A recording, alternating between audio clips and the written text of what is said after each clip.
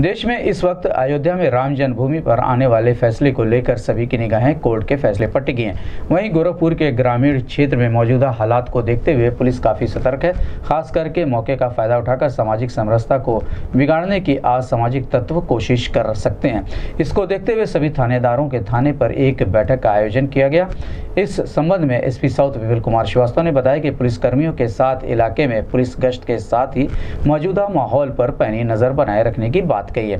खासकर संवेदनशील इलाकों में पुलिस कर्मियों को खासी सतर्कता बरतने की हिदायत दी है।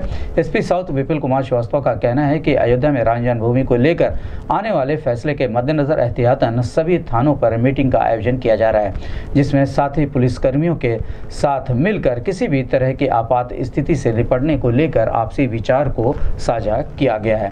इसके साथ ही एसपी साउथ का कहना है कि गोरखपुर पुलिस काफ़ी मुस्तैदी से अपना काम कर रही है और किसी भी तरह की आपात स्थिति से निपटने की तरह, पूरी तरह सक्षम है।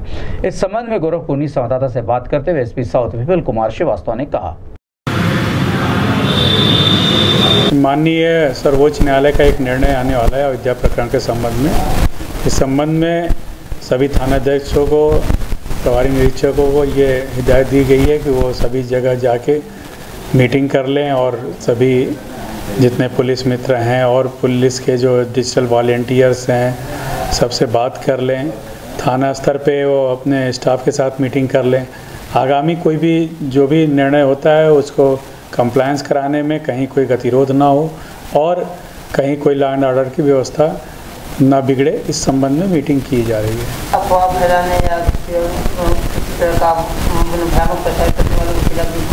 उनके जो भी अफवाह फैलाएगा या कुछ गलत सोशल मीडिया पर पोस्ट करेगा उसके विरुद्ध कार्रवाई होगी।